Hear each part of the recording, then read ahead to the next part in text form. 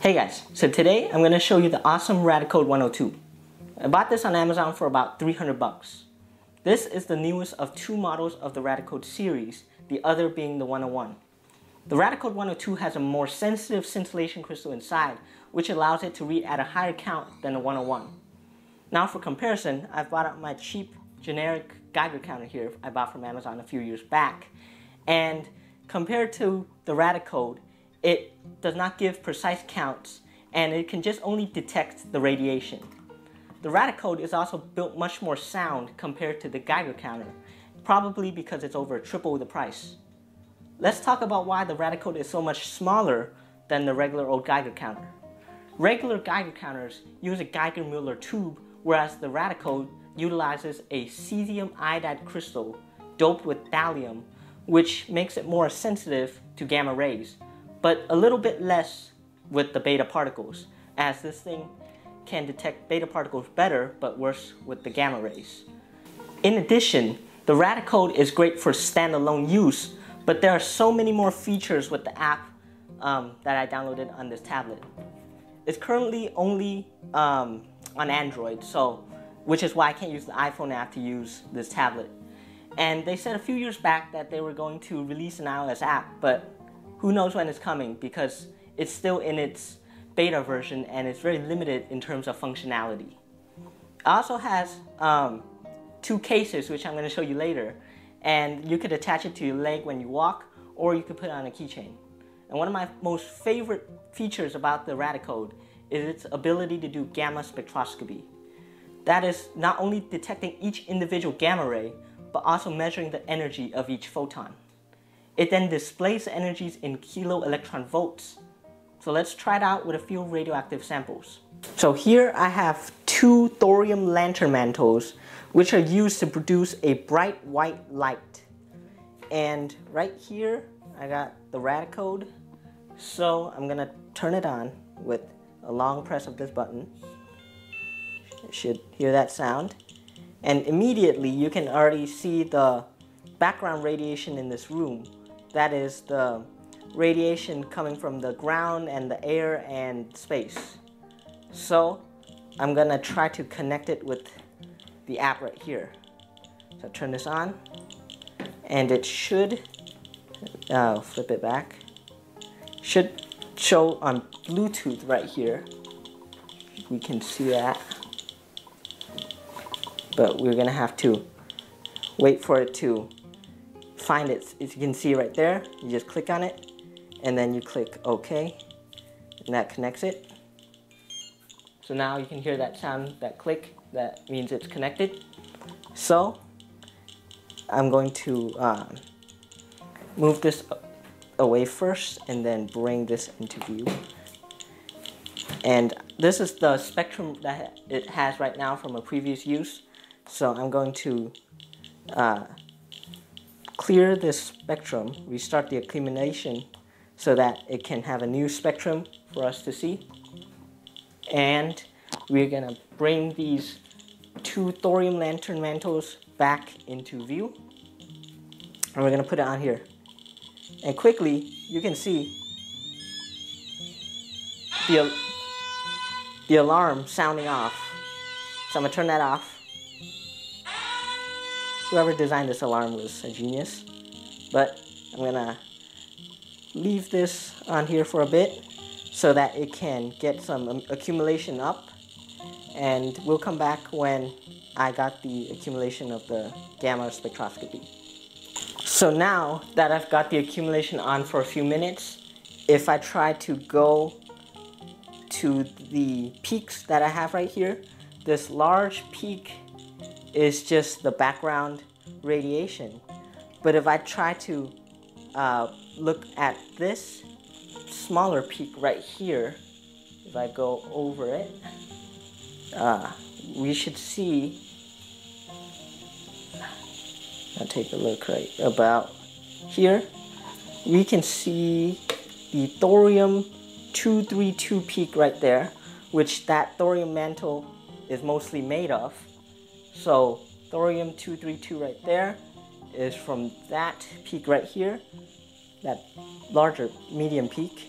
And we can look at the small peak right here, which, if I can focus on it, is from the decay products of actinium-228, which also is in the thorium-232 decay chain. So that is cool that we can actually measure the energy of the daughter particles, daughter products of thorium-232, which is displayed in these two peaks. So that is pretty cool. And we got some minor peaks right here, which is probably just noise, but it also is probably from the background radiation. And actually there is a third smaller peak down here for thallium-208, which is also in the thorium-232 um, decay chain. So yeah, that's pretty cool. So let's try a different sample right now. So, so right over here, I have this sample of uranium ore right here. And in the back it says 60,000 counts per minute. But who knows if that's true. So we can test that out with the Geiger counter here. So if I can clear this accumulation right here, restart the accumulation, and then I'll just bring this and it should go crazy. You can hear that. You can hear that alarm to silence it. So we can see it's about 18, 17, about 17 to 18 microsieverts an hour. So if you were to sleep with this thing for about an hour, you would receive um, about 18 microsieverts. And there are some hot spots on this rock, so you just have to play around 20. It can get up to 20 as well. But yeah, this is probably the most active side. It's the most active side, and we can check out our accumulation as it has been running for about a minute. We can see that there's that big peak, which is just the background, as I said. We have this peak right here, which is in the, uh, can see that, radium-226 decay chain. It's kind of small, but this is the gamma ray for bismuth from, from the bismuth 214 isotope. And we can also check some other spikes, such as this one right here. We have to locate that. Uh, apparently there's some thorium-232 in this. So, uh, there's that actinium-228 peak as I showed in the thorium lantern mantles. It's also present in this rock. And then there's some minor other peaks. Radium-226 right here. Right about there, I don't know if we can focus on this. But radium-226. And the daughter product is lead-214.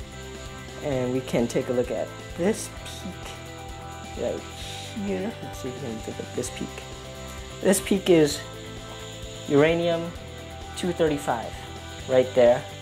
And that is because this rock is mostly uh, the natural occurring radioactive material. So that's why it has some uranium-235 that is the uh, for nuclear reactors and nuclear weapons. So we got some uranium-235 in there, just a little bit of that. And yeah, that emits mostly alpha particles, but also emits some gamma rays, which that's why it's detecting directly at 186 kilo electron volts. So that's pretty cool. And yeah, that's mostly the big peaks for it. There are some minor little peaks also from the chain of uranium. You can see it's protactinium 234 metastatic and some more thorium 232 isotopes, bismuth 212 in this case. So yeah, that's pretty cool.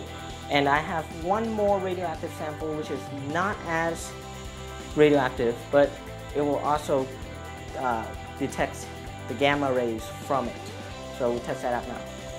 So here I have just your regular old smoke detector right here. And inside there is an ion chamber which contains some americium-241 and it's a synthetic isotope. Americium does not occur naturally and it's probably produced in some nuclear reactors. So yeah, there is this little pellet that is coated with gold and americium-241, just a fraction of a microgram of it. And that fraction of a microgram can be detected using this Geiger counter. So if I move this out, you can see it's at 0.11 microsieverts an hour. If we get closer, you can hear the it, it start to get louder and more clicks. So it's about 0.14, 0.13, just a tiny bit higher because it's outside of this uh, plastic right here, which probably blocks some of this radiation. But if I had that pellet right now, it would probably be a little bit higher. It's about 0.13. And this can also be used for gamma spectroscopy. So I'll collect this accumulation for a little bit and I'll show you the spectrum. So right here is the spectrum for the americium 241 and you can tell it's much more clean compared to the other isotopes.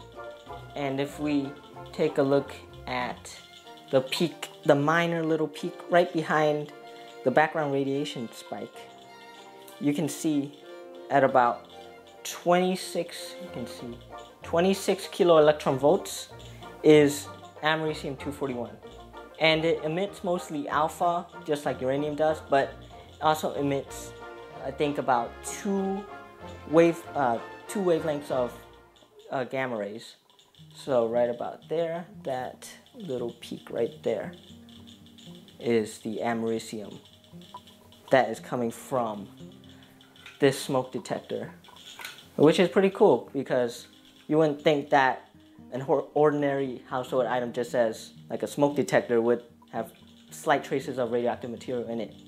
And this also has a few settings that you can use instead of just looking at this monitor setting which is in microsieverts an hour. If we long press this button, we can press it. Then we can see we have dose rates right here we can check. The search rate, which is pretty cool because it displays it in a graph. And if we get some more radioactive materials in here, then it should it should it should get higher. As we can see. You see that spike right there? This alarm is kind of annoying, so I'm gonna take this off. So we're gonna turn this guy off. And right there you can see the spike immediately drops off. And that's a pretty cool setting to use. Also, there is the uh, spectrum setting which I which can be easily accessed with this tablet and also the dose setting which um, displays this. In the future, I hope to get more radioactive samples including radium dials or industrial smoke detectors. I believe the mapping option would be a great if you were visiting like a contaminated nuclear site so that you could locate the hotspots and determine the isotopes are, which are present. In the beginning, I considered getting a pancake probe detector to detect the alpha, but they were kind of expensive, so I went with a scintillation detector like the 102. So that does it for this video. If you have any questions or comments, please leave them down in the comment section below. And please like and subscribe. See you in the next video. Bye.